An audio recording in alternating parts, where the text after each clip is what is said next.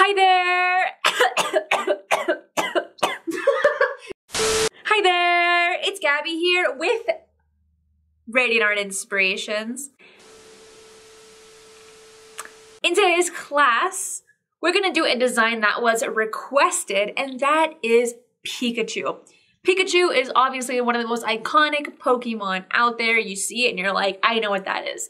But out of all the Pokemon out there, my favorite of all time is Snorlax. He's cuddly, he's huge, and he just sleeps all day. Like, that's adorable, right? I, he's, he's just really cute.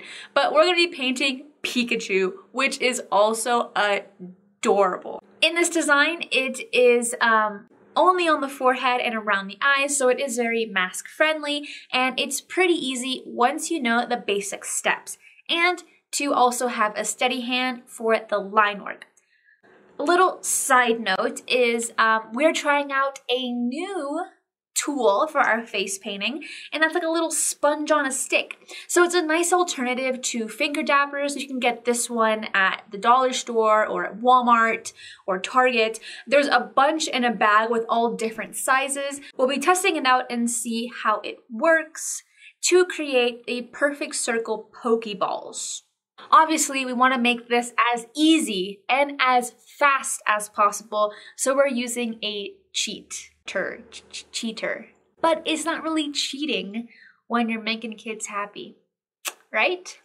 Oh yeah. We are gonna go from this to this. Let's get started. These are the supplies we are going to be using for this Pikachu. So first with a sponge load with neon yellow or regular yellow to sponge the eyelids. Honestly, this is a really cute look, so I don't know why I haven't done it. Now we're using this finger dabber loaded in yellow to create the perfect circle right in the middle of the forehead. This step is optional, but again, we're kind of just testing to see how this tool works. I wanted to do a really cool transition, but it didn't really turn out how I wanted. Now we're using a smaller finger dabber with loaded in white to create the Pokeball base, okay? And then now with a teardrop brush by Silly Farm, adding the cheeks, which is like another like half semicircle, and then starting out outlining the ears. Now with this yellow that we're using, it needed so many layers and it just wasn't blending properly that we had to use a sponge just to kind of even it out. Uh, we were using Fusion and I think uh, Aqua Color and I was, I was sad. Yellow is a struggle. Now with a darker shade of yellow, we did a little bit of sponging just to give it a little bit more depth. Then with a number one brush, loaded in black to start adding the details of the face. So you have the tiny nose and the bottom of the mouth. Pretty easy so far. Then with a number four brush loaded in black, just to do a dab for the eyes. You don't have to draw it, you just have to bring your brush down and press. Now we're doing a really quick outlining of the Pikachu face. Um, with this kind of anime look, it doesn't have to be perfect outlining. The lines do not have to touch. It can be really rough and it'll still look really cute. Now we're doing the tips of the ears, which is just a very small triangular look, nothing too heavy. And then with a darker shade of orange, just giving it some depth, right? and then also adding some red cheeks because obviously Pikachu has red cheeks and with that same brush doing the top of the Pokeball. So your circle's already made. All you have to do is just draw that little semicircle and uh, it does all the hard work for you. Really easy. Now adding some red glitter to the Pokeball and to the cheeks of the Pikachu. That step is obviously optional. Uh, you know, I, I think it's cute. Then back to your number one or number two brush, loaded in black to start outlining your Pokeballs. Take your time, outlining can be a little bit hard if you don't know what you're doing. So just, just take a deep breath and take your time. Now we're using a Graffiti Eyes stencil. This one is called Action Booster, and we're using BAM and POW on each side of his face. This step is also optional. You can obviously draw them by hand if you like, but I'm lazy and I have a lot of stencils. So there you go. That's really cute. You got the base. You got almost almost everything down. Now back to your number one brush loaded in white. Start adding these really cool lightning strikes. Cool, cool lightning strikes. To me, they also kind of look like branches, so um, just make sure not to add too much because then you don't want to give that nature look. You want it to be lightning. So we got that on both sides, and then you can also do another set in yellow a, a, secret to make anything look neon is you do white and then you add on top what other color you want. We didn't do that. but that's just a little secret. Now we're using a gradient stencil just to add some texture to your design. Uh, I love texture stencils just because they add so much to a lot of boy and adult designs. You're pretty much done. That was really easy, right? I mean, obviously this was sped up a little bit, so I guess it's cheating. But overall, it's a very simple design and um, pretty, pretty good. Now, just a really quick side note on these spongy sticks. Um, they were just okay. They soak up a lot of paint, they require a lot of layers, and it creates the paint to crack, so I kind of wouldn't recommend them. I didn't really like them. Now, let's do this exact same design on the practice board.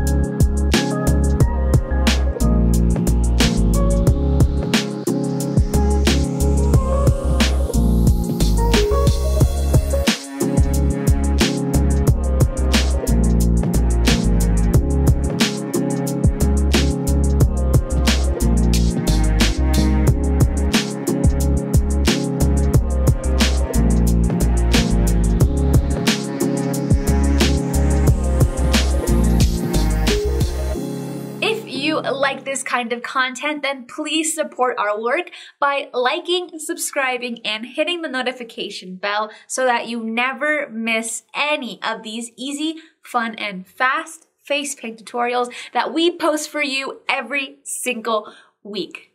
We also have step-by-steps of this design on our Instagram at Radiant Art Inspirations because why not? You know what?